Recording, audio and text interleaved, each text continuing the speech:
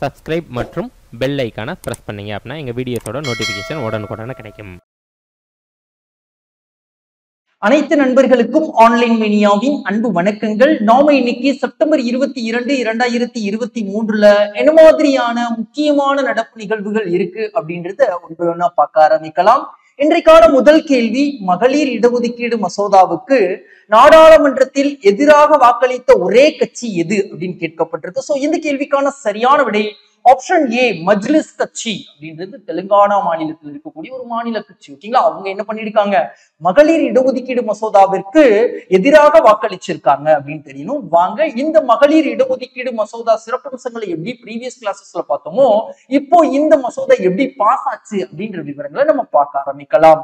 அப்போ நடைபெற்றவை அப்படின்னா நாடாளுமன்றத்தில் இரண்டு அவைகளிலும் இந்த மசோதா நிறைவேற்றம் செய்யப்பட்டுள்ளது.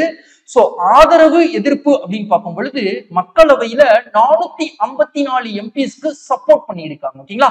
அப்போ இரண்டு இரண்டு எம்பி மட்டும் இதற்கு எதிர்ப்பு தெரிவிச்சிருக்காங்க அப்படின்னு தெரியணும். அந்த இரண்டு எம்பிஸ் தான் எந்த கட்சியை சார்ந்தவங்க அப்படின்னா மஜ்லிஸ் கட்சியை சார்ந்தவங்க அப்படின்னு தெரியணும்.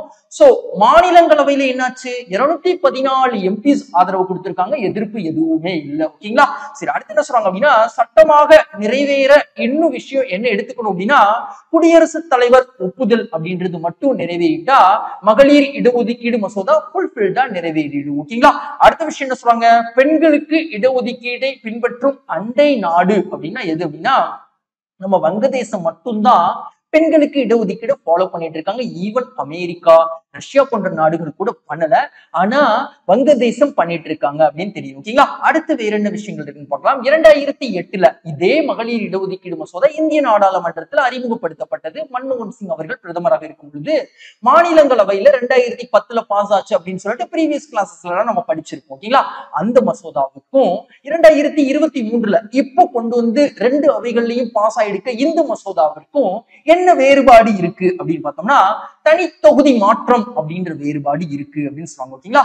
அப்போ என்ன தனித்தொகுதி மாற்றம் ஏற்பட்டிருக்கு அப்படின்னா இரண்டாயிரத்தி எட்டுல கொண்டு வரப்பட்ட மசோதாவுல ஒவ்வொரு தேர்தலுக்கு பின்னாடியும் என்ன செஞ்சாங்க அப்படின்னா தனித்தொகுதி அப்படின்றது மாற்றம் செய்யணும் அப்படின்ற ஒரு அம்சத்தை அதுல வச்சிருந்தாங்க. ஆனா இரண்டாயிரத்தி இருபத்தி மூணுல ஒவ்வொரு தொகுதி மறுவரையறைக்கு பின்னும் அதாவது பதினைந்து ஆண்டுகள் தொகுதி மறுவரையறை அப்படின்றது செயல்படும் சொல்லியிருக்காங்க. சோ ஒவ்வொரு பதினைந்து வருஷத்திற்கு ஒரு தடவையும் தனி தொகுதி அப்படின்றது சுழற்சி முறையில மாற்றம் செய்யப்படும் அப்படின்னு இந்த மசோதால சொல்லப்பட்டிருக்கு. சோ இதுதான் ரெண்டு மசோதாக்கும் இல்ல இருக்கக்கூடிய ஒரு டிஃப்ரெண்ட் ஓகேங்களா? அடுத்து என்ன சொல்றாங்க அப்படின்னு பாக்கலாம் அப்ப பிரதமர் வந்து இந்த மசோதாவை சொல்றாங்க சட்டமாகிட்டா இது வெறும் சட்டம் மட்டுமல்ல நம் தேசத்தை உருவாக்கிய எண்ணற்ற பெண்களுக்கான மரியாதை அப்படின்னு சொல்றாங்க ஓகேங்களா? நாம இங்க என்ன படிச்சிருக்கோம்? அதாவது இந்திய நாடாளுமன்றத்துல மகளிர் இடஒதுக்கீடு மசோதா சிறப்பு கூட்டத்தொடர்ல இப்ப நிறைவேற்றம் செய்யப்பட்டிருக்கு. சோ இந்த மசோதாவிற்கு ஒரே ஒரு கட்சி மட்டும் எதிர்ப்பு தெரிவிச்சிருக்காங்க. அவங்கதான் மஜ்லிஸ் கட்சி அப்படின்னு நம்ம படிச்சிருக்கோம். ஓகேங்களா? சரி வாங்க. இன்னைக்கான இரண்டாவது கேள்விக்கு போறதுக்கு முன்னாடி என் நண்பர்கள் கிட்ட ஒரு கைண்ட் ரிக்வெஸ்ட் வீடியோ பாக்குற நீங்க நம்ம வீடியோஸை சப்போர்ட் பண்ணும் விதமாக லைக் பண்ணிடுங்க கமெண்ட் பண்ணிடுங்க ஷேர் பண்ணிடுங்க. உங்க ஃப்ரெண்ட்ஸ்க்கும் முடிஞ்ச வரைக்கும் ஷேர் பண்ணுங்க. ஸோ இதுதான் நீங்க கொடுக்கக்கூடிய சப்போர்ட் ஸோ நீங்க கொடுக்கக்கூடிய சப்போர்ட் தான் என்ன அடுத்தடுத்த வீடியோவை ரொம்ப எனர்ஜெட்டிக்கா போட வைக்கும். ஓகேங்களா சரி வாங்க இன்னைக்கான இரண்டாவது கேள்வி என்ன இருக்குன்னு பார்க்கலாம். தமிழ்நாட்டின் மூன்றாவது வந்தே பாரத் ரயில் வழித்தடம் எந்த இரண்டு நகரங்களை இணைக்க உள்ளது அப்படின்னு கேட்டிருக்காங்க. சோ இதற்கான சரியான விடை option C Chennai to Tirunelveli அப்படின்னு சொல்லுவாங்க. ஓகேங்களா சரி வாங்க இது சார்ந்த விவரங்கள் என்னெல்லாம் இருக்குன்னு பார்க்கலாம். அப்ப சிறப்பு அப்படின்னா தென் தமிழகத்தின் முதல் வந்தே பாரத் ரயில் அப்படின்னு சொல்லுவாங்க. சோ தொடங்கி வைக்க உள்ளவர் அப்படின்னா இந்திய பிரதமர் செப்டம்பர் இருபத்தி நான்கு. சோ ரயிலில் உள்ள சிறப்பம்சம் என்ன அப்படின்னா வேகம் நூத்தி பத்துல இருந்து நூத்தி முப்பது கிலோமீட்டர் அளவுக்கு போகும். சோ தொலைவை கடக்கக்கூடிய நேரம் அப்படின்னா ஏழு புள்ளி அஞ்சு ஹவர்ஸ்ல கடந்துரும் அப்படின்னு சொல்லுவாங்க. சோதனை ஓட்டம் அப்படின்றது ரொம்ப சக்சஸ்ஃபுல்லா பண்ணி பார்த்துட்டாங்க. சோ பயணிக்கும் திறன் அப்படின்னா கேப்பபிலிட்டி எவ்வளவு நம்பர் ஆஃப் பர்சன்ஸ் அது டிராவல் பண்ண எடுத்துக்கும் அப்படின்னா ஐநூத்தி நாற்பது நபர்கள் ஒரே நேரத்துல டிராவல் பண்ண முடியும்னு சொல்லுவாங்க ஓகேங்களா சோ தற்பொழுது தொடங்கப்பட உள்ள மொத்த வந்தே பாரத் ரயில் அப்படின்னு பார்த்தோம்னா ஒன்பது வழித்தடங்கள் அப்படின்றது பண்ண போறாங்க. சோ தமிழ்நாட்டுடன் தொடர்புடையவை அப்படின்னு பார்த்தோம்னா அதுல ரெண்டு வழித்தடம் இருக்கு. ஒன்னு சென்னை டு விஜயவாடா அதுக்கப்புறம் சென்னை டு நெல்லை அப்படின்னு தெரியும். ஓகேங்களா அப்ப நாம இங்க என்ன படிச்சிருக்கோம் அப்படின்னா தமிழ்நாட்டில் தொடங்கப்பட்ட மூன்றாவது வந்தே பாரத் வழித்தடம். முதலாவது சென்னை டு மைசூர் இரண்டாவது சென்னை டு கோயம்புத்தூர் மூன்றாவது சென்னை டு நெல்லை அப்படின்ற விஷயம் நம்ம படிச்சிருக்கோம். ஓகேங்களா சரி வாங்க இன்றைக்கான மூன்றாவது கேள்விக்கு போலாம்.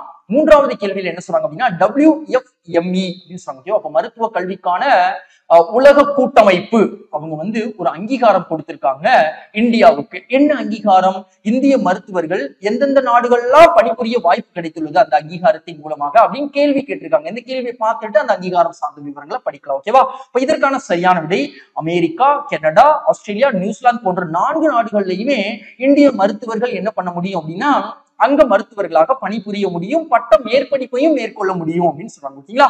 சோ நாம இங்க என்ன பார்த்திருக்கோம் அப்படின்னா world federation for medical educations அப்படின்றவங்க நேஷனல் மெடிக்கல் கமிஷன்ஸ்க்கு ஒரு சர்வதேச அங்கீகாரம் கொடுத்திருக்காங்க. அந்த அங்கீகாரத்தின் மூலமாக இந்திய மருத்துவர்கள் வெளிநாடுகள்ல பணிபுரிய முடியும் அப்படின்ற விஷயம் படிச்சிருக்கோம் ஓகேங்களா? அது எந்தெந்த நாடுகள் அப்படின்ற ஆப்ஷன்ஸ்ல நான்கு கொடுத்தாங்க நான்குமே சரிதான் ஓகேங்களா? சரி வாங்க அடுத்து வேற என்ன விவரம் பார்க்கலாம்? அங்கீகாரம் பெற்ற அமைப்பு தேசிய மருத்துவ ஆணையம். இது முதல்ல மெடிக்கல் கவுன்சில் ஆஃப் இந்தியாவா இருந்தது.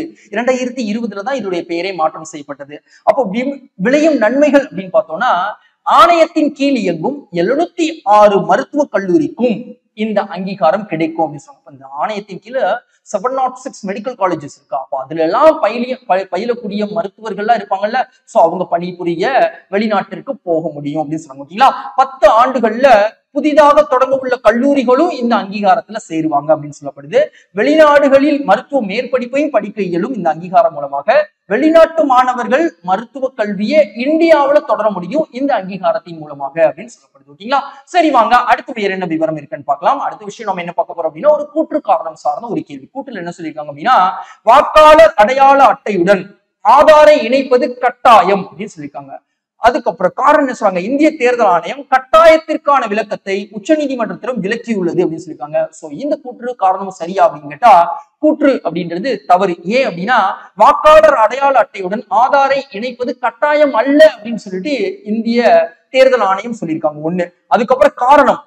இந்திய தேர்தல் ஆணையம் கட்டாயத்திற்கான விளக்கத்தை உச்சநீதிமன்றத்திலும் விளக்கியுள்ளதுன்னு சொல்லியிருக்காங்களா? அது கட்டாயத்திற்கான விளக்கத்தை கொடுக்கல. கட்டாயம் அல்ல அப்படின்றதுக்கான விளக்கத்தை தான் கொடுத்திருக்காங்க ஓகேவா அப்போ கூற்றும் காரணம் இரண்டும் தவறு அப்படின்னு தெரியும் ஓகேங்களா சரி வாங்க இது சார்ந்த விவரங்களை பார்க்கலாம். அப்ப தேர்தல் ஆணையம் தற்பொழுது என்ன நடவடிக்கையில் ஈடுபட்டிருக்காங்க அப்படின்னா வாக்காளர் சேர்ப்பு புதுப்பிப்பு ஆகியவற்றுக்கான பிடிவா படிவங்கள் ஓகேங்களா அந்த படிவங்கள் எல்லாம் மாற்றத்தை கொண்டு வந்திருக்கிறதாக சுப்ரீம் கோர்ட்லயே சொல்லிட்டாங்க. சோ வெளியே வெளியிட்ட அறிவிப்பும் ஆதார் கட்டாயம் அல்ல அப்படின்ற அறிவிப்பு வெளியிட்டிருக்காங்க. முன்னெடுப்புக்கு காரணமான விஷயங்கள் அப்படின்னு பார்த்தோம்னா எதற்கு சரி இப்ப கட்டாயம் இல்லை அப்படின்னு ஆதாரம் சொல்லிட்டீங்க. அப்புறம் எதுக்கு ஆதாரம் வந்து வாக்காளர் அட்டையோட இணைக்க சொல்றீங்க? விருப்பம் இருக்கவங்கள அப்படின்னா போலி வாக்காளர்களை ஒழிப்பதற்காக. சோ அதுகள் நிறைய கன்சர்ன் இருக்கக்கூடிய நபர்கள் வந்து அதுல வந்து ஜாயின் பண்ணிக்கோங்க அப்படின்னு சொல்லுங்களா ஓகேங்களா? அப்போ உச்சநீதிமன்றத்துல யாரு விசாரிச்சா அப்படின்னா தற்பொழுது தலைமை நீதிபதியாக விளங்கக்கூடிய டி ஒய் சந்திரசூட் அவர்கள் விசாரிச்சாங்க. சோ அதுக்கப்புறம் வாக்காளர் பதிவு விதிகள் இரண்டாயிரத்தி இருபத்தி இரண்டின் படி ஆதார் எண் வாக்காளர் அடையாள அட்டையுடன் இணைப்பது கட்டாயம் அல்ல அப்படின்னு சொல்லப்பட்டிருக்கு. ஓகேங்களா? விதி இருபத்தி ஆறு பில சொல்லப்பட்டிருக்கு அப்படின்னு தெரியும். ஓகேங்களா? அடுத்து தற்பொழுது இணைக்கப்பட்டுள்ள நபர்கள் ஆதாரையும் வாக்காளர் அட்டையும் அப்படின்னு பார்த்தோம்னா தேர்தல் ஆணையம் சொல்றாங்க. அறுபத்தாறு கோடி நபர்கள் இணைச்சிருக்காங்க தன்னுடைய விருப்பத்தோடு. ஓகேங்களா? சரி அடுத்து வேற என்ன விவரம் இருக்குன்னு பார்க்கலாம். அடுத்த விஷயம் நம்ம என்ன பார்க்க போறோம் அப்படின்னா பி எயிட்டை விமான தயாரிப்புக்காக தற்பொழுது தற்சார்பு இந்தியா திட்டத்தில் இணைய உள்ள வெளிநாட்டு நிறுவனம் எது அப்படின்னு கேட்கப்பட்டிருக்கு. சோ இந்த கேள்விக்கான சரியான விடை ஆப்ஷன் பி போயிங் அப்படின்னு தெரியணும். ஸோ இந்த போயிங் நிறுவனம் எப்படிப்பட்டது அப்படின்னா யுஎஸ்ஏவிலேயே மிகப்பெரிய விமான தயாரிப்பு நிறுவனமாக பார்க்கப்படுது. ஸோ இந்த பி எயிட்டை விமானத்தை தயாரிப்பதற்கு தானே தற்சார்பு இந்தியாவோட இணைகிறாங்க ஸோ இந்த விமானம் எப்படிப்பட்ட விமானம் அப்படின்னா கடற்சார் கண்காணிப்பு விமானமாக பார்க்கப்படுது. இந்திய கடற்படையில ஆல்ரெடி பன்னெண்டு இருக்கு. ஸோ திட்டமிட்டுள்ளவை அப்படின்னு பார்த்தோம்னா இந்தியாவை உதிரி பாகங்கள் தயாரிப்பிற்கு இது திட்டமிடப்பட்டிருக்கு. ஸோ கூடுதலாக வாங்க உள்ளவை அப்படின்னு பார்த்தோம்னா ஆறு விமானங்கள் கூடுதலாக வாங்க இருக்காங்க. ஸோ இந்திய கடற்படையும் பி எயிட் ஏ விமானத்தையும் பார்க்க போறோம் ஓகேங்களா பனி இந்திய கடற்படையில பி எயிட் ஐ விமானம் இரண்டாயிரத்தி பதிமூணு முதல் இருக்காங்க. அந்த பி எயிட் ஐ விமானத்திற்கு சிறப்பம்சம் அப்படின்னு பார்த்தோம்னா நாற்பதாயிரம் பயண நேரத்தை கடந்து விமானம் சிறப்பாக செயல்பட்டுள்ளது அப்படின்னு சொல்லுவாங்க ஓகேங்களா சரி வாங்க அடுத்து வேற விவரம் இருக்குன்னு பார்க்கலாம். சரோஜா வைத்தியநாதன் எந்த துறையுடன் தொடர்புடையவர் அப்படின்னு கேட்கப்பட்டிருக்கு. சோ இதற்கான சரியான விடை ஆப்ஷன் பி கலைத்துறையுடன் தொடர்புடையவர் அப்படின்னு சொல்லுவாங்க ஓகேங்களா சரி வாங்க அடுத்து வேற என்ன விவரம் இருக்குன்னு பார்க்கலாம். சரோஜா வைத்தியநாதன் அவர்கள் எந்த மாநிலத்தை சார்ந்தவங்க அப்படின்னா கர்நாடகா மாநிலத்தை சார்ந்தவங்கன்னு தெரியணும். அவங்க ஆயிரத்தி தொள்ளாயிரத்தி முப்பத்தி ஏழுல பிறந்தவங்க. வயது எண்பத்தி ஆறு. வயது மூப்பின் காரணமா கூட தற்பொழுது இயற்கை எழுதியிருக்கலாம் ஓகேங்களா சரி அப்போ பெற்ற விருதுகள் இவங்க பெற்ற முக்கியமான விருதுகள் அப்படின்னு பார்த்தோம்னா பத்மஸ்ரீ விருது இரண்டாயிரத்தி இரண்டுலையும் பத்மபூஷன் விருது ரெண்டாயிரத்தி பதிமூன்றுலயும் பெற்றிருக்காங்க அப்படின்னு தெரியணும். சர்வதேச அளவுல இவங்க கவனம் பெற்றதற்கான காரணம் இவங்க கிட்ட இருந்த திறமை பரதநாட்டிய கலையில நடன வடிவங்களை வெளிப்படுத்துவது அப்படின்னு சொல்லுவாங்க. சோ இதிகாசங்கள் அதற்கப்புறம் சமுதாய கருப்பொருள் கொண்ட கவிதைகள் அட்டல் பிகாரி வாஜ்பாய் போன்றவருடைய கவிதைகள்லாம் என்ன பண்ணுவாங்க அப்படின்னா அவங்களுடைய முத்திரையின் வெளிப்பாடுகளா வெளிப்படுத்துவாங்க அப்படின்னு சொல்லப்படுது. ஓகேங்களா? அப்ப நம்ம இங்க என்ன பார்த்திருக்கோம்? சரோஜா வைத்தியநாதன் அப்படின்றவங்க பரதநாட்டிய பரதநாட்டியத்துடன் தொடர்புடையவங்க. இப்ப தற்பொழுது டெல்லியில வந்து என்ன பண்ணிருக்காங்க அப்படின்னா இயற்கையை எழுதியிருக்காங்க. சோ அந்த அறிவிப்பு வெளியிட்டது ரமா வைத்தியநாதன் அவங்க டாக்டரின்லாம் ஓகேங்களா? அவங்களும் ஒரு பரதநாட்டிய கலைஞர் தான். சோ சோனல் மான்சிங் அப்படின்றவங்க இப்ப ராஜ்யசபா எம்பியா இருக்காங்க. இவங்களும் ஒரு பரதநாட்டிய கலைஞர் ஆழ்ந்த இரங்கல் தெரிவிச்சிருப்பாங்க. மத்திய கலாச்சார கலாச்சாரத்துறை அமைச்சரும் ஆழ்ந்த இரங்கல் தெரிவிச்சிருப்பாங்க. ஓகேங்களா சரி அடுத்து வேற என்ன விவரம் இருக்குன்னு பார்க்கலாம். எம்பி எம்எல்ஏக்கள் தங்களின் பணிகளை சுதந்திரமாக செய்வது குறித்து இந்திய அரசியல் அமைப்பில் குறிப்பிடும் சரத்து என்ன அப்படின்னு கேட்கப்பட்டிருக்கு. சோ இந்த கேள்விக்கான சரியான விடை ஆப்ஷன் பி நூத்தி அஞ்சு. அதாவது ஆர்டிகல் நூத்தி அஞ்சு தான் சொல்லுது. எம்பி எம்எல்ஏக்கள் தங்களுடைய பணிகளை சுதந்திரமாக செஞ்சுக்க முடியும் அப்படின்னு சொல்லுவாங்க ஓகேங்களா சரி வாங்க அடுத்து வேற என்ன விவரம் இருக்குன்னு பார்க்கலாம். நடைபெறுபவை அப்படின்னு பார்த்தோம்னா கீதா சோரன் வழக்கு அப்படின்றது இப்போ சுப்ரீம் கோர்ட்ல நடைபெற்றிருக்கு. ரெண்டாயிரத்தி பத்தொன்பதுல தொடுக்கப்பட்டது ஓகேங்களா? அப்போ உச்சநீதிமன்ற தலைமை நீதிபதியா இருந்தது? ரஞ்சன் கோகாய் அவர்கள். அப்ப இந்த வழக்கை வந்து அஞ்சு நபர்கள் கொண்ட அரசியல் சாசன அமர்வு விசாரிக்கணும்னு சொன்னாங்க. சோ இப்போ அஞ்சு நபர்கள் கொண்ட அரசியல் சாசன அமர்வு இப்போ விசாரிச்சுக்கிட்டு இருக்காங்க. அதற்கு தலைமை வந்து தற்பொழுது இருக்கக்கூடிய உச்சநீதிமன்ற தலைமை நீதிபதி டி ஒய் சந்திரசூட் அவர்கள் தான் ஓகேங்களா? அப்ப வழக்கின் மைய கருத்து நாடாளுமன்ற மற்றும் சட்டமன்ற நடவடிக்கைகளில் சட்ட பாதுகாப்பு அப்படின்றது வழங்கப்படுது ஓகேங்களா? அடுத்து மேற்கோள் காட்டும் தீர்ப்பு அப்படின்னு பார்த்தோம்னா உச்சநீதிமன்றத்தின் ஆயிரத்தி தொள்ளாயிரத்தி தொண்ணூத்தி எட்டில் வழங்கப்பட்ட தீர்ப்பு அப்படின்னு தெரியும். ஓகேங்களா? உச்ச- எப்ப உச்சநீதிமன்றத்துல அந்த தீர்ப்புல என்ன சொன்னாங்க அப்படின்னா சி நாடாளுமன்றம் சட்டப்பேரவைகளுக்குள்ள நடக்கக்கூடிய விஷயங்கள்லாம் நீதிமன்ற விசாரணைக்கு அப்பாற்பட்டது அப்படின்னு சொல்லியிருப்பாங்க. ஓகேவா? அப்ப கீதா சோரன் வழக்குல என்ன பண்ணிருப்பாங்க அப்படின்னா சி அவங்க வந்து ஒரு மாநிலங்களவை எம்பி எலெக்ஷன்ஸ் தேர்வு செய்யறதுல எதிராருக்கு என்ன பண்ணிருப்பாங்க அப்படின்னா வாக்களிச்சிருப்பாங்க. சோ லஞ்சம் வாங்கிட்டு இப்படி வாக்களிச்சிட்டாங்கன்னு சொல்லிட்டு வழக்கு தொடர்ந்துருப்பாங்க சோ மக்களுடைய நம்பிக்கைக்கு புறமான விஷயமா இருக்கு அப்படின்னு சொல்லிட்டு உச்சநீதிமன்றம் என்ன பண்ணிருவாங்க? இந்த வழக்கு வித்ட்ரா பண்ண மாட்டாங்க. சோ அதனால அவங்க வந்து என்ன பண்ணிருப்பாங்க? சுப்ரீம் கோர்ட்டுக்கு இந்த வழக்கு கொண்டு வந்திருப்பாங்க. சுப்ரீம் கோர்ட் இப்ப என்ன பண்ணிருக்காங்க அப்படின்னா ஆயிரத்தி தொள்ளாயிரத்தி தொண்ணூத்தி எட்டுல அந்த வழக்குக்கு தீர்ப்பு வந்ததுல நரசிம்ம ராவ் கவர்மெண்ட்டுடன் தொடர்புடைய ஒரு வழக்கு ஓகேங்களா அதுல என்ன சொல்லியிருப்பாங்க? நாடாளுமன்ற சட்டமன்றத்திற்குள்ள நாங்க வந்து தலையிட முடியாதுன்னு சொல்லியிருப்பாங்க சோ அந்த தீர்ப்பை மறு ஆய்வு செய்யணும் அப்படின்னு சொல்லிட்டு இப்போ இருக்கக்கூடிய உச்சநீதிமன்ற தலைமை நீதிபதி டி வி சந்திரசூட் அவர்கள் ஏழு நபர்கள் கொண்ட அரசியல் சாசன அமர்வுக்கு மாற்றம் செஞ்சிருக்காங்க அப்படின்னு விஷயம் தெரியும் ஓகேங்களா சரி வாங்க அடுத்து வேற என்ன விவரம் இருக்குன்னு பார்க்கலாம். அடுத்த விஷயம் நம்ம என்ன பார்க்க போறோம் அப்படின்னா கடனை திருப்பி தராதவர்களுக்கு சாக்லேட் அளிக்கும் திட்டத்தை அமல்படுத்தியுள்ள வங்கி எதுன்னு கேட்கப்பட்டிருக்கு. சோ இதற்கான சரியான விடை SBI State Bank of India Bharat state வங்கி அப்படின்னு தெரியும். ஓகேங்களா? சரி வாங்க. அடுத்து வேற என்ன விவரம் இருக்குன்னு பார்க்கலாம். திட்டம். என்பிஏ இல்லத்துக்கு சென்று சாக்லேட் அளிப்பது. என்பிஏனா யாரு? நான் பெர்ஃபார்மிங் அசட் அப்படின்னு சொல்லுவாங்க. அதாவது தான் வாங்கிய கடனை தொண்ணூறு நாட்கள் வட்டியும் செலுத்தாமல் அசலில் ஒரு பகுதியும் செலுத்தாமல் இருந்தா நாம எல்லாருமே என்பிஏவா தான் அழைக்கப்படுவாங்க. சோ இந்த மாதிரி என்பிஏவா இருக்கக்கூடிய பர்சனாலிட்டிஸோட இல்லத்துக்கே சென்று கடன் மீட்பாளர்கள் என்ன பண்ண போறாங்க அப்படின்னா சாக்லேட் கொடுக்க போறதா சொல்லியிருக்காங்க. இந்த திட்டத்தை யார் துவங்கியிருக்கா? ஸ்டேட் பேங்க் ஆஃப் இந்தியா துவங்கியிருக்காங்க அப்படின்னு தெரியும் ஓகேங்களா? அப்போ முந்தைய முறை அலைபேசி மூலமாக அழைப்பு கொடுத்தாங்க இப்போ நிறைய பேர் அலைபேசி எடுக்கிறது இல்லையா? சோ அதனால திட்டம் மாற்றப்பட்டிருக்கு அப்படின்னு சொன்னாங்க இரண்டாயிரத்தி இருபத்தி மூன்று நிதியாண்டுல முதல் காலாண்டுல சில்லறை கடன் எஸ்பிஐ எவ்வளவு கொடுத்திருக்காங்க அப்படின்னா பனிரெண்டு லட்சத்தி நாலாயிரத்தி இருநூத்தி எழுபத்தி ஒன்பது கோடி கொடுத்திருக்கதா சொல்றாங்க. சோ இரண்டாயிரத்தி இருபத்தி இரண்டை விட பதினாறு புள்ளி நாலு ஆறு சதவீதம் உயர்வு அப்படின்னு சொல்லுவாங்க. சோ இரண்டாயிரத்தி இருபத்தி இரண்டு மதிப்பு பத்து லட்சத்தி முப்பத்தி நான்காயிரத்தி நூத்தி பதினோரு கோடி அப்படின்னு சொல்லுவாங்க. சோ வாங்க இன்னைக்கான அடுத்த கேள்வியை பார்க்கலாம். அப்போ புத்தொழில் புத்தாக்க கொள்கையை தற்பொழுது வெளியிட்டுள்ள மாநிலம் இது அப்படின்னு கேட்கப்பட்டிருக்கு. சோ இதற்கான சரியான விடை ஆப்ஷன் பி தமிழ்நாடு அப்படின்னு தெரியும். ஓகேங்களா? சரி வாங்க இது சார்ந்த விவரங்கள் என்னெல்லாம் இருக்குன்னு பார்க்கலாம். கொள்கையின் நோக்கம். புதிய தொழிலை ஊக்குவிப்பது அப்படின்னு சொல்லிட்டாங்க ஓகேங்களா அப்போ தொழில் புத்தாக்கம் அப்படின்னு சொல்லிட்டாலே அப்போ நியூ ஃபார்ம் ஆஃப் டெக்னாலஜியை நம்ம என்ன பண்ணணும்? என்கரேஜ் பண்ணணும். நியூ ஃபார்ம் ஆஃப் இண்டஸ்ட்ரியை நம்ம வரவேற்கணும் அப்படின்னு சொல்லுவாங்க. ஸோ உருவாக்க உள்ளவை அப்படின்னு பார்த்தோம்னா இந்த கொள்கையின் அடிப்படையில நூறு கோடியில என்ன பண்றாங்க அப்படின்னா பெருநிதியம் அப்படின்றது வழங்கியிருக்காங்க அப்படின்னு சொல்லப்படுது. ஸோ நன்மைகள் அப்படின்னு பார்த்தோம்னா புதிய தொழில் அப்படின்றது உருவாக்கப்படணும். மாநிலத்துடைய ஜிடிபி உயர்த்தப்படணும். புதுமை நிறுவனங்கள் விரிவாக்கம் செய்யப்படணும். இதெல்லாம் நன்மைகளாக பார்க்கப்படுது இந்த கொள்கையின் வாயிலாக ஓகேங்களா?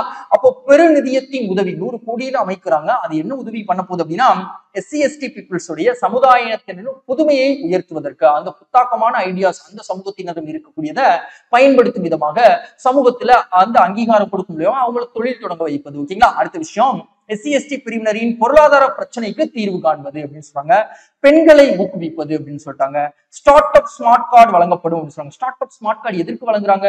புதுமையாக ஒருத்தவங்க தொழில் தொடங்குறாங்க அப்படின்னா அவங்களுக்கு மூலப்பொருட்கள் அப்படின்றது தேவை. அந்த மூலப்பொருட்களை ரொம்ப அதிகமான விலை கொடுத்து வாங்காம நியாயமான விலையில வாங்குவதற்கு இந்த ஸ்மார்ட் ஸ்டார்ட் அப் ஸ்மார்ட் கார்டை யூஸ் பண்ணிக்கோங்க அப்படின்னு சொல்றாங்க. ஓகேங்களா? அதுக்கப்புறம் சமூக நீதி தொழில் வளர்ச்சி மையம் அப்படின்றது திறக்கப்பட்டு சொல்றாங்க இந்த சமூக நீதி தொழில் வளர்ச்சி மையம் மூலமாக என்ன செய்யறாங்க அப்படின்னா புதுமையாக தொழில் தொடங்குவவங்களுக்கு ஆஹ், தொழில் பயிற்சிகள் ஆலோசனைகள் இதெல்லாம் கொடுக்கப்படும் இந்த மையத்தின் வாயிலாக அப்படின்னு சொல்லப்பட்டிருக்கு. ஓகேங்களா? சரி வாங்க அடுத்த கேள்வி என்ன இருக்குன்னு பார்க்கலாம். இன்னைக்கான பத்தாவது கேள்வி ஆசிய விளையாட்டு துடுப்பு படகு போட்டிக்கு நடுவராக நியமிக்கப்பட்டுள்ள முதல் இந்தியர் யார் அப்படின்னு கேட்கப்பட்டிருக்கு சோ இந்த கேள்விக்கான சரியான விடை பில்கிஸ் மிர் அப்படின்றவங்க தான் தேர்வு செய்யப்பட்டிருக்காங்க அப்படின்னு தெரியும். ஓகேங்களா? இன்னைக்கான தகவல் முடிஞ்சது ஃப்ரெண்ட்ஸ் மேலும் நாளைக்கு புதிய தகவலுடன் உங்களை சந்திக்கின்றேன்.